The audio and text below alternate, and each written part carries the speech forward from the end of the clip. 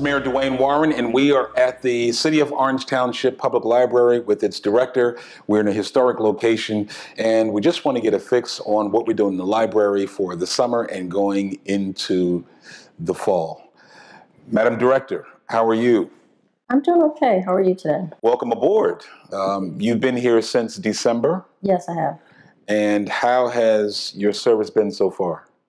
Uh, it has been extremely busy. Uh, there's Good. been a, um, a lot of opportunities to uh, make some improvements in the library, um, to reach out to the community, and we have a lot more to do um, to make sure that this community is well served by this library. Oh, great. Now, when I think of library, um, as a child growing up, it was part of one of my uh, stimulus points that my mother made sure we were library members and that we went to the library activities. What are we doing finishing out July and going into August for our children in the community? Well, um, we are focused on uh, the summer reading uh, program. Um, this year, the theme is a universe of stories. And so we're de- we've developed a number of programs around that theme, including um, having a um, special story time in July. I believe it's the 23rd of July uh, with the WWO um, organization, the Worldwide Orphans. Um, they have a corner in our library where they offer a lot of programs to the younger kids on Mondays and Wednesdays, and it's free and open to everyone. Um, we also are working with Luna Stage to offer a play entitled Luna here on July 24th. Wow. I, I, I'm going to instruct my technical people to make sure those programs, all of your programs, are on the screen so that we get maximum participation. Now, collaboration is something that you spoke of, and I'm glad that we're doing that with other agencies in the community. I understand you're now bringing together the library, books and reading, uh, and mixing it with athletics. Tell me about that program. Yes, that's um, the WWO program. Um, they are having a program at the school where they're bringing in um, some athletes, some basketball, um, NBA basketball players. And after they finish the clinic at the school, those um, athletes will come to the library and do a story time with the student, the kids that are here. Oh, beautiful. That's a that's a perfect mix. Um, I want to jump to the physical structure. This is a historic structure. It's very well known throughout the state of New Jersey. Um, tell me what we're doing to try to improve the physical structure. Uh, we are doing a number of things. Um, we are working with um, the city um, to um, prioritize the big problems in the library and identify funds to address those problems. For example, um, there is New Jersey construction bond money that's coming available pretty soon. We will participate in the application process, um, and the, the city has agreed to um, provide us a match, uh, if possible, so that we can um, get the roof fixed. And then the New Jersey Historic uh, funds are those available as well for this building? I, I understand the, that the library was um, issued um, granted funds prior, and we've not used those funds yet, and so uh, we are still working with the city to make that happen, to use those funds to get the building fixed up in other areas. I'm a big reader and a big writer, and um, I intend to uh, attend the Writers Symposium that I understand you're having in August. Tell us about that program. Well, um, that's also part of the um, 2019 summer reading. And what we're planning is uh, to have local authors, local writers, published and non published, come into the library and talk about their books. Um, uh, they will have the opportunity to sell their books afterwards also. Um, during that week, we also will have a huge book sale of some of the library materials that are being withdrawn from the collection. Now, that'd be a sidewalk sale or that'd be inside the library? It will be outside the library, not necessarily on the sidewalk on the grass, but um, it will be outside of the library. Uh, we're expecting at least 15 or 20 authors. Uh, we've been reaching out to people in the community for the last couple of weeks, and we're now starting to sign up authors participate. Outstanding. That's a free program to the public. That is a free program to the public. As a matter of fact, all of our programs are free to the public. And just um, so people that are out there, if you're a local author, are you invited to come and share in the program? Yes, just um, come to the library and ask for me at the circulation desk, and um, I will sign you up if you're a published author. Great. You want to get started? This is a great place to start at our public library. Um, so Tell me a little bit about yourself. Um, where are you from? Where'd you go to school? How'd you get interested in libraries? Well, um, I am from Virginia originally. Um, so is my dad. Oh, my okay. roots. I didn't know that. Okay. Um, so I'm from Virginia originally. Um, I worked in li- uh, libraries in high school um, throughout college, and then I was recruited to go to library school. So um, I went to the University of Pittsburgh uh, for my master's degree in library science. Um, I earned it in 1992, and I've been working in senior management positions for about 25 years now. So there's a library school, like a library university? There are a lot of uh, colleges and universities that offer a master's degree in library science or library and information science around the country. They're accredited programs. So I went to the University of Pittsburgh at the time. It was you know, ranked pretty high in the country. I think it was ranked like number three in the country. Wow. So And you have a staff here at the library of how many? currently we have a total of 13. Uh, that includes myself, but we are hiring um, and we're looking to add um, two more staff positions. Now, I'm also an old school guy. I do have my AARP card, so um, sometimes I'm still drawn to the stacks um, when in terms of the card catalog and so forth. But I understand that today technology is reigning, and we don't need the uh, card catalogs anymore. Um, we still have card catalogs, but they are now online. Um, the big change that we recently introduced was to uh, start offering ebooks and audiobooks. Wow. And that's free to everyone who has a library. Now, tell me how that works. Well, you come in with your library card. We can show you how to set up your account. Uh, there's a class once a month. Um, just contact the library. You can get information about when that class happens. Um, and we can show you step by step how to get into the ebooks and audiobooks. We we have about 31,700 books that are available to us. Wow. Now, the library, um, although it's a place of learning, research, and reading, you've been kind of creative in using it also as a center for the community. What kind of programs are you doing in that area?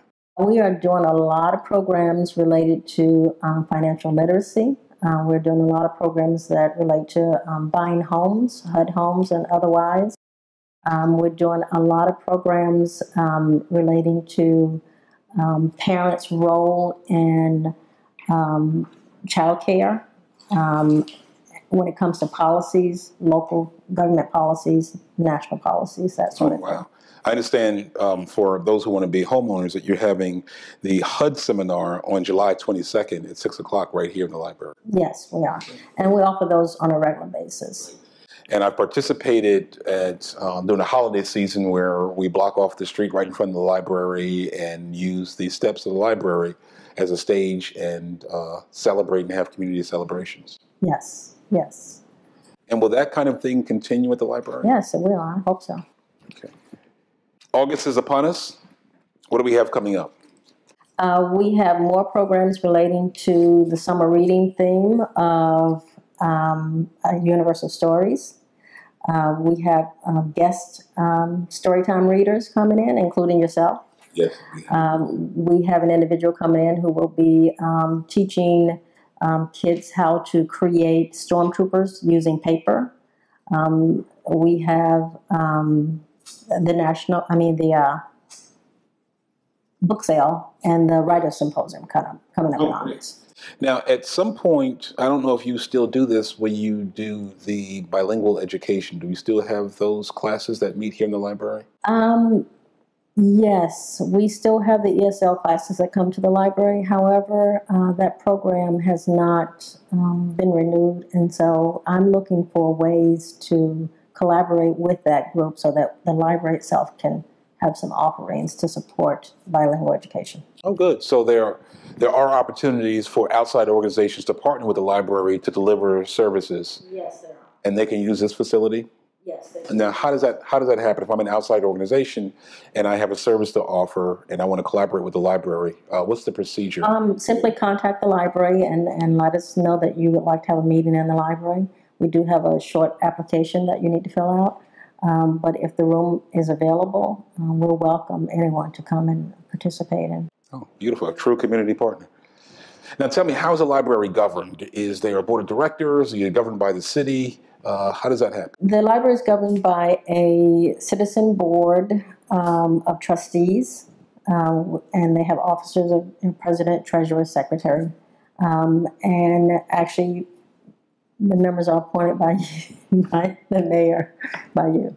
So, So the library board has a board of trustees. Um, I appoint the board of trustees with the mission that we uh, serve the community, that we become a great community partner, and to uh, to get on the board uh, when there are vacancies.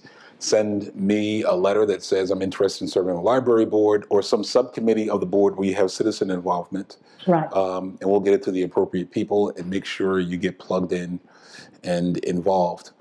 Now, the mayor is statutorily a member, the superintendent of schools is statutorily a member, and then there are other members who, uh, mostly community people, and then there's room for an outside person who does not live in the community to be on the board as well.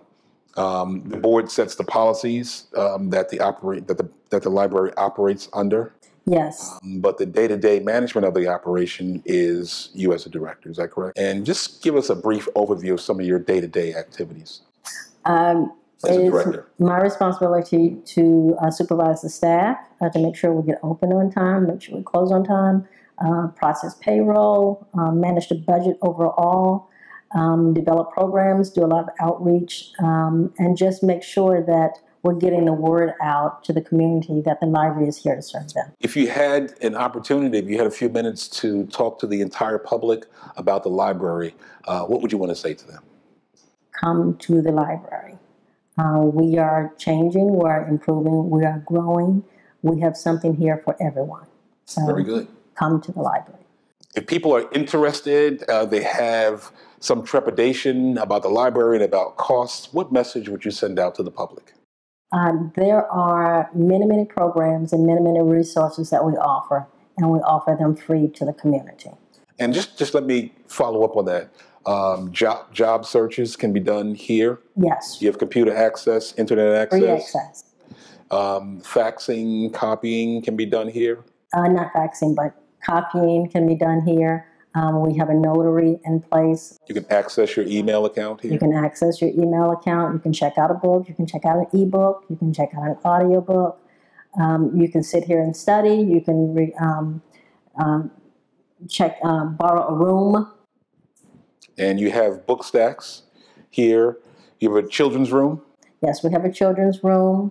Uh, we have a computer room uh, where we teach classes, the Watson room. Um, and so there's, there's every service that any library offers, we offer here. Uh, we welcome everyone to come to the library. Uh, if there is not a service or a book or something that um, we don't have, we can get it for you. So, Coming down, it's a library, a center for the community. We're right here on Main Street. The hours of operation are Uh, Mondays, we're open from 9 to 8. Tuesdays and Thursdays, we're open from 9 to 6. Wednesdays and Fridays, we're open from 9 to 7. so between the hours of nine and six every day. Um, you can have access. Our late days are the beginning of the week. We are open on Saturday for an extended period. Uh, in the fall, we are open uh, on Saturdays from 9 to 1. okay, and Sunday we're closed. Yes, we're closed on Saturdays. come on down to the library, enjoy it, grow. It's a family friendly place with activities that cover children all the way up to senior citizens right here on Main Street. Um, we're happy to have you. Director, thank you uh, for spotlighting the Orange Public Library. Thank you.